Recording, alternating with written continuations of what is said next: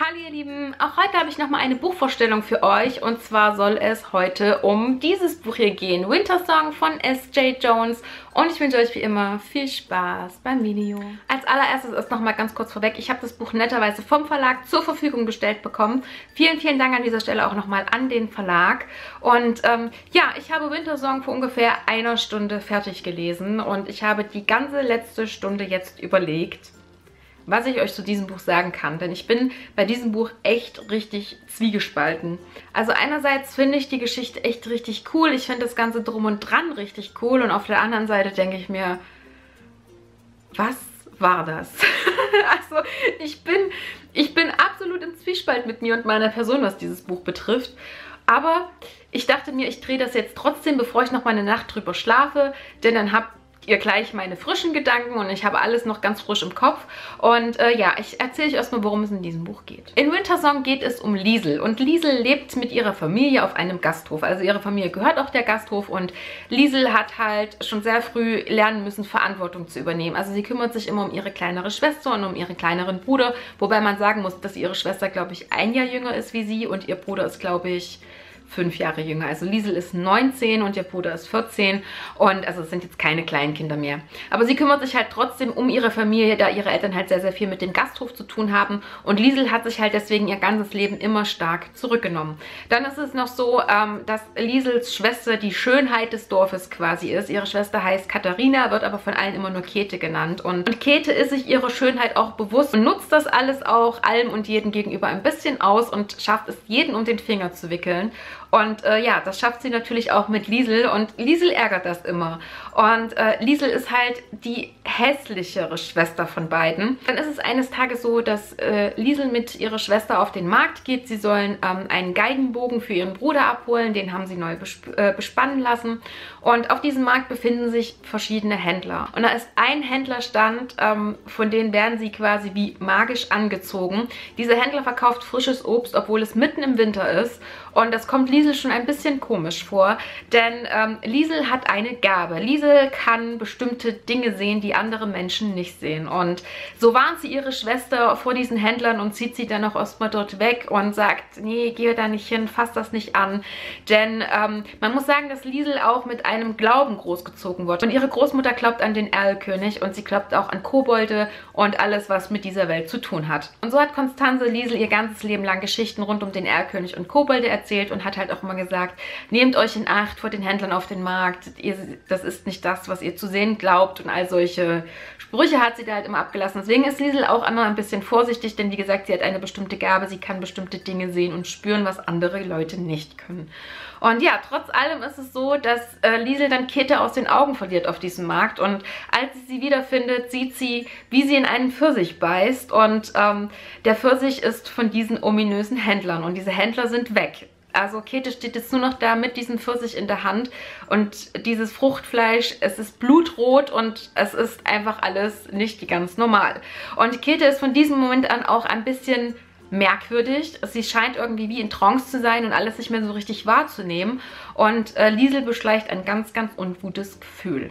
Und als Käthe dann am nächsten Tag auch noch verschwindet und äh, Liesel sie nicht finden kann, hat sie eine ganz, ganz böse Vorahnung, was mit ihrer Schwester passiert ist. Denn es ist so, dass der Erlkönig jeden Winter die Grenze der Unterwelt überschreiten kann und sich eine neue Frau sucht, damit es wieder Frühling werden kann. Und Liesel vermutet jetzt, dass der Erlkönig sich ihre Schwester geholt hat. Und ob Liesel es schafft, ihre Schwester wiederzufinden und was das alles um die Legende mit dem Erlkönig zu tun hat, das ist es, worum es in diesem Buch schlussendlich geht. Von der Handlung her kann ich sagen, dass das Buch wirklich schwer für mich einzuschätzen ist. Auf der einen Seite war die Handlung im Großen und Ganzen wirklich okay und wirklich gut, aber die Handlung hatte einfach für mich so viele Fehler. Da waren Logikfehler drin, da waren Übersetzungsfehler, schätze ich mal, teilweise auch mit drin. Und da waren halt auch Sachen in dieser Handlung drin, die ich einfach nicht nachvollziehen und verstehen konnte. Und Deswegen bin ich da wirklich sehr gemischte Gefühle, was die Handlung betraf. Also ich würde sagen, im Großen und Ganzen war die Handlung gut. Also sie hat mir schon gefallen. Also ich habe das Buch ja auch relativ schnell jetzt gelesen, innerhalb von drei Tagen, obwohl ich jetzt dachte, dass aufgrund dieses Schreibstils ich absolut mit der Geschichte nicht so zurechtkomme und länger brauche. Aber das ging dann doch alles leichter von der Hand wie gedacht. Deswegen ich würde sagen, von der Handlung her war es wirklich so echt durchwachsen bei mir. Es gab Passagen, die fand ich wirklich richtig toll und es gab auch Passagen, die haben mich einfach nur total verwirrt und da kam ich mit der Geschichte überhaupt nicht zurecht. Deswegen würde ich sagen, im Großen und Ganzen war die Handlung okay. Also wir geben dem Ganzen mal so ein Mittelmaß. Es war ein okay von der Handlung her. Was die Charaktere betrifft, muss ich leider sagen, dass ich damit so überhaupt nicht zurechtgekommen bin. Also ich ähm, fand die Entwicklung, die manche Charaktere in dem Buch gemacht haben, richtig gut aber ich kam mit unserer Protagonistin überhaupt nicht zurecht. So gar nicht, gar nicht. Ich habe diese Frau einfach nicht verstanden. So 0,0000 nix.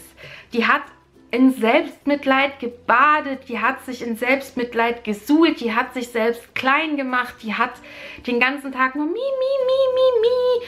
Keiner liebt mich, ich bin hässlich, ich bin die kleine, stille Schwester, die keiner sieht. Ich muss immer nur alle betuddeln und machen und oh, ey, das ging, das ging mir echt auf den Sack und das hörte nicht auf. Das hörte einfach nicht auf. Das ging das ganze Buch durchweg ging das so. Warum kann diese Frau sich nicht entwickeln? Also Liesel macht dann schon eine Entwicklung durch in der Geschichte, aber man merkt halt trotzdem immer noch ihre Zweifel bis so kurz vorm Ende. So, ich würde sagen, vielleicht so 30 Seiten vom Ende hat es bei ihr dann vielleicht auch mal Klick gemacht und ähm, sie ist ein bisschen anders wie vorher und sie ist selbstsicherer und weiß halt auch Dinge anders einzuschätzen. Aber bis wirklich so kurz vorm Ende, ich kam mit, ich kam mit der einfach nicht klar.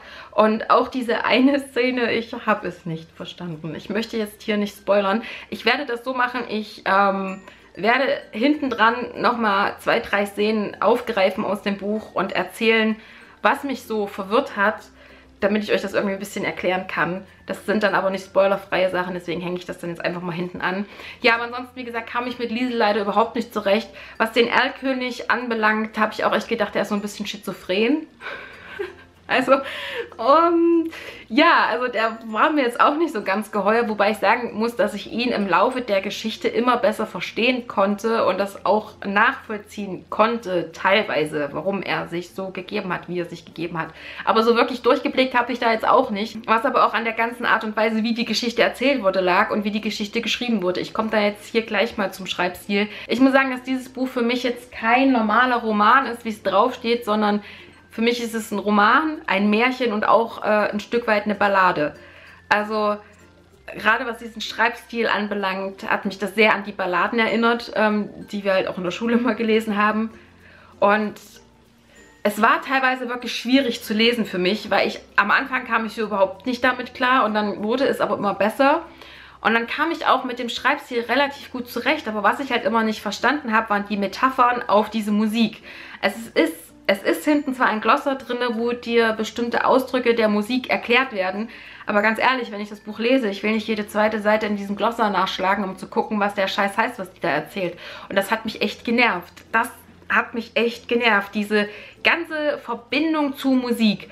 Also es geht in diesem Buch wirklich vom Thema her sehr viel um das Thema Musik, klassische Musik. Geige spielen, Klavier spielen, komponieren, interpretieren, von Musik. Und ähm, wenn man kein Mensch ist, der damit was anfangen kann, ist dieses Buch wirklich schwierig. Und dann würde ich auch sagen, Leute, lasst lieber die Finger davon, dann ist das nichts für euch. Ich muss sagen, bei mir ging es noch. Also ich bin jetzt auch nicht so der musikalische Mensch, aber ich kam noch damit zurecht. Aber wie gesagt, Leute, die damit so gar nichts anfangen können, die können auch mit dieser Geschichte, glaube ich, nichts anfangen. Und das ist wirklich echt schwierig bei diesem Buch. Also es ist definitiv durch seine ganze Art und Weise was Besonderes und für mich auch was, was aus dieser ganzen Masse heraussticht. Aber es ist halt dadurch auch echt was komplett anderes man muss sich darauf einlassen können, auf diese Geschichte. Deswegen bin ich da noch ein bisschen zwiegespalten, weil wie gesagt, ich hatte schon echt so meine Probleme, gerade mit Liesel als Hauptcharakter. Und auch mit dem Erlkönig bin ich ja, wie gesagt, nicht so ganz warm geworden am Anfang. Das ging ja dann aber zum Ende.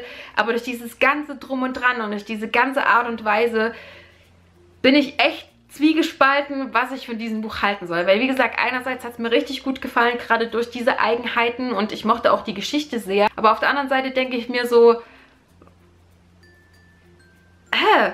Ich verstehe es nicht. Ich bin verwirrt. Ich, ich blicke nicht richtig durch bei allem. Könnte mir das mal bitte jemand erklären? Wisst ihr, was ich meine? Also ich bin da wirklich so im Zwiespalt von, ich finde es ganz, ganz toll und es ist nicht mein Buch. ich möchte jetzt nicht sagen Scheiß, aber es ist nicht mein Buch. Also ich denke, dass wenn ich jetzt nochmal zwei, drei Nächte drüber geschlafen habe, die Seite von es gefällt mir schon, überwiegen wird zu, ich bin verwirrt und kann mit dem Buch nichts anfangen.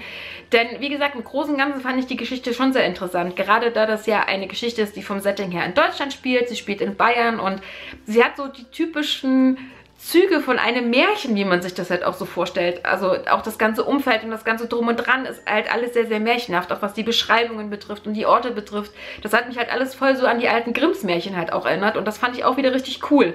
Also Deswegen, ich bin echt bei diesem Buch sehr zwiegespalten. Ansonsten kann ich zum Setting aber auch nur sagen, dass es mir gut gefallen hat. Ich mochte die Beschreibungen, ich mochte die Umschreibungen, ich mochte die Szenenbeschreibungen, ich mochte die Interaktionen, wenn ich sie denn verstanden habe und nicht total verwirrt war. Also was das Setting betrifft, ähm, hat es mir gut gefallen. Ich mochte die Beschreibungen und Umschreibungen in der Geschichte sehr. Ansonsten kann ich nur sagen, dass das Buch wirklich durch seine ganze Art und Weise, wie gesagt, für mich diese Mischung aus Roman, Märchen und Balladen was ganz, ganz Eigenes hat und was Besonderes hat, wo man sich drauf einlassen können muss. Also ich würde hier jedem empfehlen, lest euch die Leseprobe durch zu diesem Buch, bevor ihr es euch kauft. Wenn ihr nicht tausendprozentig sicher seid, dass euch das Buch gefällt, dann lest da lieber erst mal rein und guckt, ob es was für euch ist. Denn wie gesagt, es ist was sehr, sehr Eigenes und wirklich was anderes einfach mal. Also was das betrifft, fand ich es wirklich gut, weil es halt wirklich mal wieder was anderes ist. Aber es hat mich teilweise wirklich sehr, sehr verwirrt zurückgelassen und damit komme ich jetzt einfach mal zu dem Punkt, wo ich euch mal zwei, drei Szenen aufgreifen möchte aus diesem Buch, um euch das mal zu erklären. Wer nicht gespoilert werden möchte, schalte jetzt bitte an dieser Stelle ab. Ihr seid gewarnt. Ansonsten alle anderen bleibt jetzt einfach dran und äh, ja, wir kommen mal dazu, was mich denn so verwirrt hat. Mal abgesehen von diesen ganzen musikalischen Begriffen und Metaphern, die hier drin vorkamen, gab es einfach Szenen, die ich einfach nicht verstanden habe. Okay. Bevor ich euch die erste Szene sagen kann, muss ich euch das kurz vorher erklären, sonst ist das, glaube ich, zu verwirrend. Also es ist so, dass Liesel dann den Erlkönig heiratet und sich ihm freiwillig als Opfer gibt, damit ihre Schwester halt befreit wird. Und ähm, es ist so, die Frauen, die sich dem Erlkönig freiwillig geben, um halt seine Frau zu werden, damit es wieder Frühling werden kann, diese Frauen sterben. Die Kobolde und alle, die in dieser Unterwelt leben, ziehen die quasi ihre Lebenskraft aus diesem freiwilligen Opfer und dadurch wird Liesel mit der Zeit immer schwächer werden, bis sie dann irgendwann stirbt. Und der Erlkönig hat das immer so beschrieben, je heller eine Kerze brennt, umso schneller brennt sie runter. Das heißt, je mehr Leidenschaft und Intensivität Liesel in eine Sache investiert, umso heller leuchtet ihre Kerze, umso schneller und ähm, ja, es war dann so, dass Liesel ja jetzt nun einen Ehemann hat und ähm, Liesel wollte mit diesem Ehemann auch die Ehe vollziehen. Der Ehemann, der Erlkönig, wollte aber die Ehe nicht mit ihr vollziehen, weshalb sie wieder, mi, mi, mi, ich weiß, ich bin hässlich, ich weiß, du hast mich nicht freiwillig geheiratet, mi, mi, mi und böses Drama. Und ja, am Ende hat sie dann noch einen Versuch gestartet und er hat dann aber gesagt, nein, erst schenkst du mir deine Musik und dann werde ich mich dir hingeben, wo ich schon dachte, so, boah, mir wird schlecht. Und äh, ja, auf jeden Fall kam es dann quasi kurz, auf jeden Fall war es dann so kurz vorm Akt und ähm, er wollte es dann irgendwie immer noch nicht, war aber zu scharf auf sie, auf gut Deutsch gesagt. Und ähm, sie meinte dann, ja, du musst das jetzt machen, um mich zu brechen, damit ich wieder ich selbst sein kann. Das habe ich einfach nicht verstanden. Also sie will freiwillig von ihm, ihr wisst schon, weil sie einfach scharf ist auf den Typen, aber gleichzeitig soll er sie währenddessen brechen, damit sie wieder sie selbst sein kann. Verstehe ich nicht. Habe ich absolut nicht verstanden. Weil wie soll er sie denn brechen, wenn sie freiwillig mit ihm... Also der hat dann auch nichts Schlimmes gemacht in dem Moment mit ihr, was jetzt irgendwie sie brechen könnte. Aber am nächsten Tag war sie ein komplett anderer Mensch. Zumindest laut ihrer Interpretation.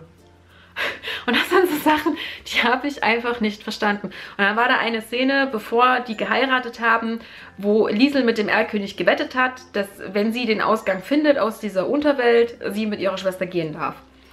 Und dann irren die durch diese Gänge und auf einmal hat sie Dreck im Mund. Und ich denke mir so, hä? Also sie hat dann irgendwelche Melodie gehört und irgendeinen Ausgang gesehen und auf einmal wird sie von ihrer Schwester zurückgezerrt und sie kriegt keine Luft mehr und hat Dreck im Mund.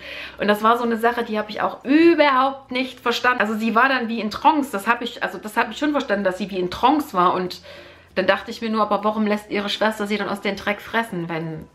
Warum hat die die nicht gleich zurückgehalten? Warum muss sie aus einem Erstickungstod leiden, dass ihre Schwester da was unternimmt? Und also das waren, das waren so Kleinigkeiten, über die ich auch gestolpert bin. Und dann war da eine Stelle später in dem Buch, da hat er geweint. Also er hat auch geweint, nachdem sie den Akt vollzogen haben. Wo ich erstmal gelacht habe. Entschuldigung. Ähm, er war übelst scharf auf sie, sie war scharf auf ihn. Sie haben beide, es in beiderseitigen Einvernehmen getan. Und er fängt danach erstmal an zu weinen. Ich bin ein Monster, ich bin ein Monster. Ich verdiene deine Gnade nicht. Und sie sagt, nein, nicht meine Gnade, aber meine Dankbarkeit. Ugh. Ja, auf jeden Fall liegt er da und weint und sie streichelt ihm das Köpfchen und irgendwann schlafen sie ein. Und äh, ja, später in der Geschichte dann weint er nochmal und da sagt sie, ich hätte nie gedacht, dass der Erlkönig weinen kann. Und ich denke mir so, hat er doch schon. Er hat doch schon geheult in eurer Hochzeitsnacht. Verstehe ich jetzt nicht. War wahrscheinlich dann irgendwie wieder so ein Logikübersetzungsfehler, was auch immer. Aber das waren so, so Sachen, die, die, ah, die haben mich genervt. Und dann auch ähm, diese Sache mit den Wechsel, Wechselbelgiern, die habe ich auch nicht so ganz verstanden. Das wurde zwar erklärt, was jetzt schlussendlich ein Wechselbalg in dieser Geschichte ist, aber ich habe es irgendwie nicht verstanden. Ich habe es nicht verstanden. Ich weiß nicht, also das, das waren halt so Sachen, die durch diese Art, die Geschichte zu erzählen, für mich einfach unverständlich waren und die mich da echt teilweise sehr verwirrt haben. Und ich verstand auch die Familie von Liesel nicht. Also der Vater säuft den ganzen Tag nur, ihre Mutter ist unzufrieden mit ihrem Leben, hält aber das Wirtshaus am Laufen, ihre Schwester ist die Schöne des Dorfes und tigelt da den ganzen Tag durch die Gegend. Ihr Bruder soll großer Geigenspieler werden und sie ist die ungeliebte Tochter. Ja, weil sie ist halt nun mal die Ältere, aber da ist sie doch auch selber dran schuld. Dann soll sie ihre Schwester verdammte Scheiße in den Arsch treten, dass die auch endlich was macht. Also, ah! und auch dieses, dieses, was mich halt auch echt genervt hat, war diese, dieses, dieses sich selbst klein machen von Liesel, ne? Sie ist, sie hat eine Begabung, sie kann halt äh, schöne Musik komponieren. Aber ihr Vater hat gesagt, nee, du bist eine Frau, du kannst das nicht, wir bilden deinen Bruder aus, der kann schön Geige spielen. Der ist jetzt hier der Held der Familie. Und ähm, Liesel hat das einfach so hingenommen. Sie hat dann nicht mehr komponiert. Sie hat das alles nur noch für sich getan, in ihrem Kopf, in ihren Gedanken und mit ihrem Bruder maximal zusammen, dass sie sich da hingesetzt hat und komponiert hat und immer so, oh, ich traue mich nicht, ich bin eine Frau, niemand wird mein, meine Lieder hören wollen. Das hat mich echt genervt. Ich meine, klar, zu der Zeit, wo das Buch spielt, war es halt noch so, dass Frauen ne, ihr wisst und so. Aber ich, oh, das hat mich echt genervt. Dieses, dieses, dieses Mi, Mi, Mi, Mi von Diesel die ganze Zeit. Bin ich schön, keiner liebt mich. Das ging mir echt auf den Keks. Also, wie ihr seht, ich bin mit diesem Buch absolut zwiegespalten. Denn wie gesagt, vom Grundansatz her von der Geschichte fand ich es schon eigentlich ganz cool. Auch von der Idee mit dem Erlkönig. Und auch dieses, dieses Mischmasch aus Roman, Ballade und dem Ganzen fand ich auch eigentlich ganz cool. Wie gesagt, meine Meinung ist hier, was dieses Buch betrifft, wirklich sehr, sehr zwiegespalten. Einerseits hat es mir wirklich gut gefallen, was diesen Ansatz der Geschichte betraf und auch diese Besonderheit mit dieser Art und Weise, das Ganze zu erzählen. Aber andererseits hat es mich auch genervt, dieses ganze musikalische, diese ganzen Metaphern und wie gesagt, und halt auch Liesel hat mir halt auch wirklich die Geschichte schon ein bisschen verhagelt mit ihrer ganzen Art und Weise. Deswegen bin ich da echt noch so ein bisschen im Zwiespalt, aber jeder, der Bock auf ein etwas anderes Buch hat, der Bock auf eine Geschichte mit sehr, sehr vielen Eigenheiten hat, wer Bock auf eine Geschichte hat, die in Deutschland spielt und sich um den Erlkönig dreht, was ja eine deutsche Legende in dem Sinne ist, der sollte sich Wintersong auf jeden Fall angucken. Und äh, wie gesagt, ich würde jedem empfehlen, vorher die Leseprobe einmal gelesen zu haben, dass ihr wisst, worauf ihr euch einlasst, dass ihr euch darauf einstellen könnt, ob es was für euch ist oder nicht. Und dann werdet ihr auch glücklich glücklich mit der Geschichte. Und äh, ja, mehr gibt es zu diesem Buch eigentlich jetzt auch nicht mehr zu sagen. Das war meine kurze Buchvorstellung zu Winter Song von S.J. Jones. Ich sollte an dieser Stelle vielleicht auch noch erwähnen, dass das ein erster Teil ist, dass dieses Buch ein offenes Ende hat und äh, ja, dass ich eigentlich schon sehr gespannt bin, wie es mit Liesel und dem Erlkönig weitergeht. Ich habe jetzt noch nicht geguckt, äh, wann und ob und wie und was dieses Buch weiter übersetzt wird, ehrlicherweise. Das müsste ich vielleicht mal noch tun. Und äh, ja, ansonsten äh, gibt es an dieser Stelle auch nicht mehr zu sagen, außer ich bedanke mich wie immer fürs Gucken, wünsche euch noch eine schöne Woche und bis zum nächsten Mal. Macht's gut. Tschüss.